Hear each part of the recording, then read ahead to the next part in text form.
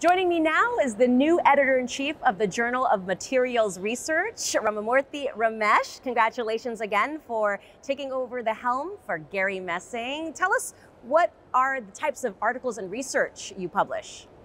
It's a Journal of Materials Research, all materials, anything that is under the purview of Materials Research Society is acceptable there. But having said that, we definitely want top quality papers papers that will change how you think about materials. So uh, papers on functional materials, you know, you know, information storage, for example, solar cells, energy materials, battery materials, biomaterial, tissues. Um, how do you make materials? You know, can you make them like you make pancakes? Or can you make them like you make Indian food? You know, put everything in and let's hope for the best. So we welcome papers in all of those topics. And what is it about the journal that drew you?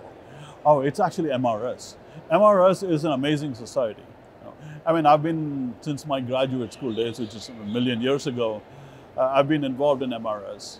And it's always stood for cutting edge science, cutting edge technology, cutting edge materials research.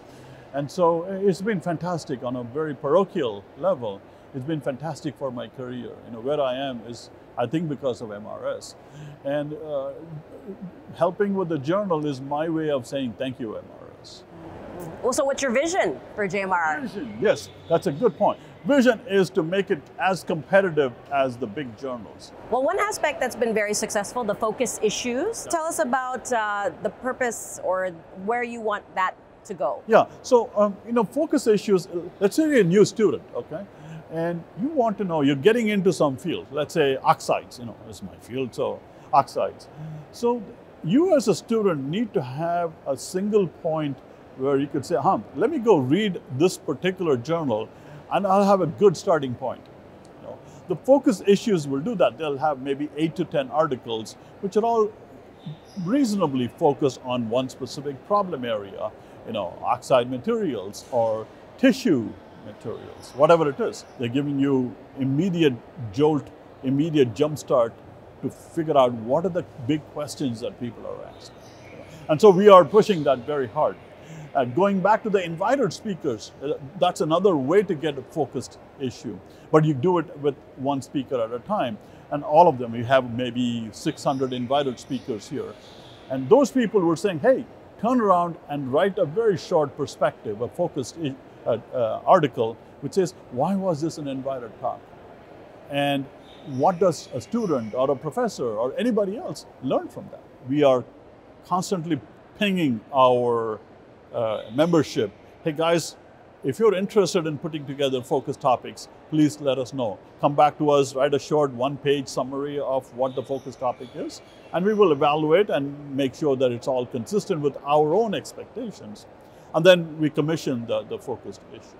And how do you actually acknowledge and recognize some of the amazing work that's published? Oh, many ways. I mean, for old people like me, the, the biggest recognition is a citation. I mean, and I live and die with citations of your papers. And every year, uh, my predecessor, and I will be following that again, uh, we have the Best Paper uh, Award, uh, something which has had impact on people, on the readership typically, you know, number of citations, for example. You know. So there are many ways by which, you know, the, the, uh, the society is, is, is kind of rewarding or thanking people for publishing impactful papers. Well, it sounds like you have a big job ahead of you. So oh, looking forward right. to seeing how it uh, plays out. Exactly right. Yeah, and congratulations again, uh, Journal of Materials Research. Thank you very much. Yeah, it's a pleasure.